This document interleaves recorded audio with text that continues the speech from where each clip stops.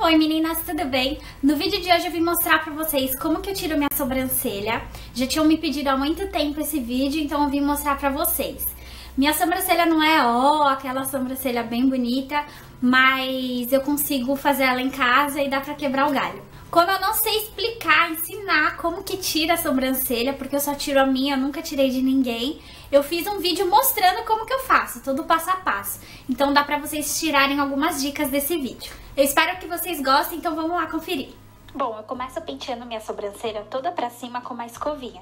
E aí eu aparo os pelinhos com a tesoura.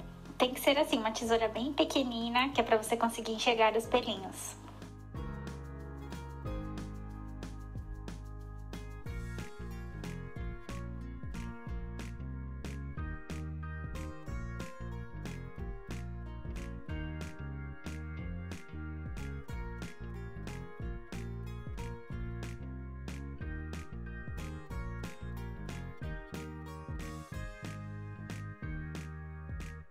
E essa é a medida que eu uso para fazer a distância de uma sobrancelha da outra.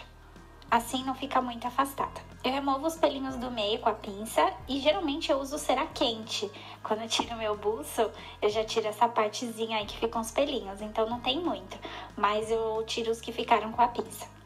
Agora eu começo a tirar os pelos da parte de cima da sobrancelha e tem que tomar cuidado para não tirar muito, para ela não ficar caída.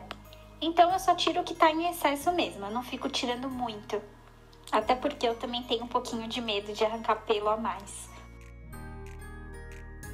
E essa é a medida que eu uso para fazer o final da sobrancelha. É só posicionar o cabo do pincel na pontinha do nariz e no cantinho do olho. E aí você vai saber onde a sua sobrancelha termina. Eu falei pincel porque é o que eu tô usando, mas pode ser qualquer outro objeto reto. Como a minha sobrancelha já tá mais ou menos desenhada, eu só tiro os pelos que estão em excesso. Eu sempre tento deixar desse mesmo formato. E o formato é você quem escolhe, você pode pesquisar um de acordo com o tipo do seu rosto. Eu vou deixar algumas opções para vocês verem lá no meu blog.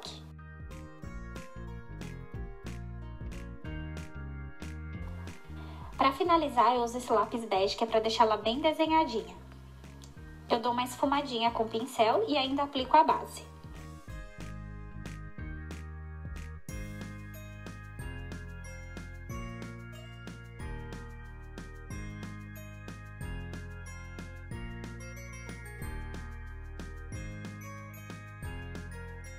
Agora eu vou fazer minha outra sobrancelha. E essa daí é um dilema, porque eu tenho uma falha nela de catapora que eu tive, então ela é um pouquinho mais difícil de desenhar, mas eu dou um jeito aqui.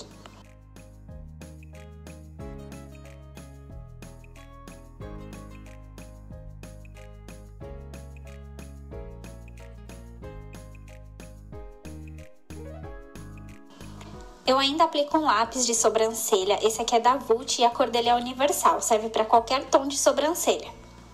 Ele dá um acabamento bem natural.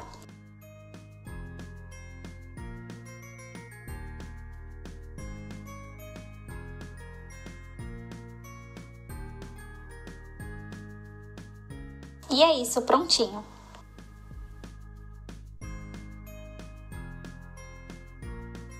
E aí, gente, gostaram? Espero muito que tenha ajudado vocês a pegar algumas dicas. Não esqueça de deixar seu like se você gostou desse vídeo, de compartilhar nas redes sociais e de se inscrever aqui no canal para ficarem ligadas em todas as novidades. Um super beijo, fiquem com Deus e até a próxima. Tchau!